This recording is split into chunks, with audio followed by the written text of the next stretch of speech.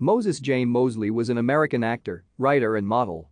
He was known for his work on the series The Walking Dead. He had guest starring roles on the TV shows Queen of the South and Watchmen and appeared in the film volumes of Blood, Horror Stories. Moseley was born in Aiken, South Carolina on December 23, 1990. And while a student at Georgia State University, Moseley was scouted to appear in the movie Joyful Noise with Queen Latifah and Dolly Parton. Moseley received his breakthrough role as one of Michonne's Joel pet walkers on AMC's horror drama television series The Walking Dead. On January 26, 2022, Moseley's body was discovered near the Hudson Bridge in Stockbridge, Georgia, bearing evidence of a gunshot wound. He was 31 at the time of his death. Thank you for watching.